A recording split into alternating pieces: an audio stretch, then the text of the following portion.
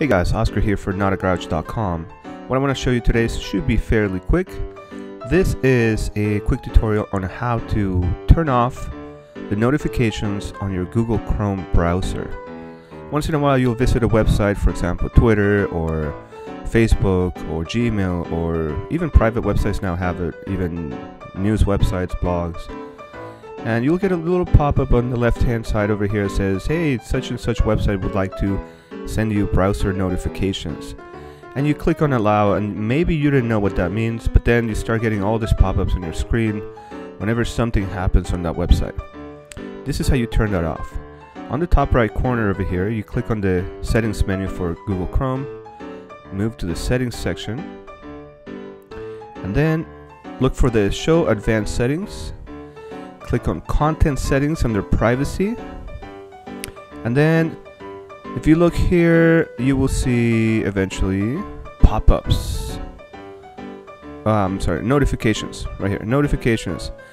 And all the websites, you should have this setting set to ask when a site wants to show notifications. That means the site has to ask you for permissions. If you allow it to, then they're gonna pop up whenever something happens that is, that is supposed to be of interest to you.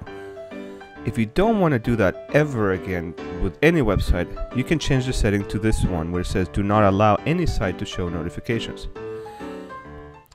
But if you just want to turn off certain websites that may be abusing that, you click on the manage exceptions and then you'll see all the websites that you've given permission to. For example, this one was taking a little bit advantage of that. So wittyfeed.com, I'm going to click on that and delete it.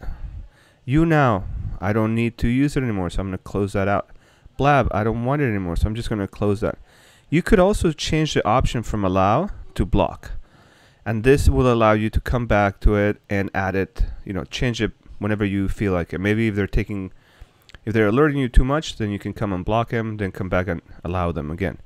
But if you just don't want them to send you notifications, you can just click on the X at the right and remove them altogether. So if you have any questions about this, let me know in the comments.